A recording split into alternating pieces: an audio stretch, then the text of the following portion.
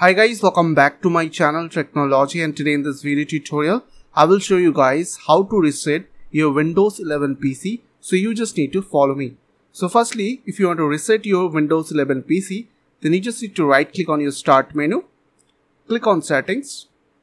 Once you have opened settings window, you just need to select system from your left side.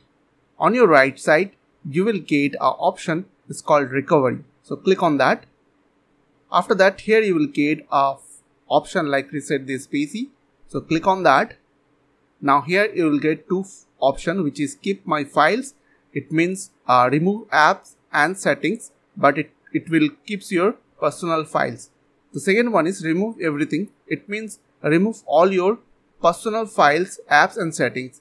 So select this as per your requirements and after that it will reset your PC. So I hope this quick tutorial is really help for you. And please don't forget to click on the subscribe button, like button and share button. And if you have any queries or questions then comments down below. I will see you guys in the next one next video. Till then bye bye take care.